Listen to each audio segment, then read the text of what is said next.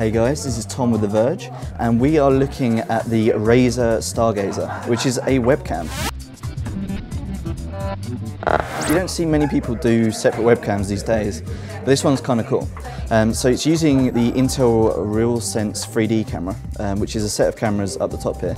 And for gamers, uh, obviously this is Razer, so for gamers this is kind of key. Um, so you can see there's an outline behind me, and if, if I move around it sort of clips that out of the background.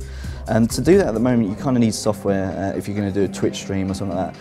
The RealSense camera does that automatically. It does all the processing on the chip. So it does all the processing for taking away this, this background behind me, um, just on the actual unit itself. Um, so it doesn't take away anything too much from your CPU or GPU, which is obviously key to gamers.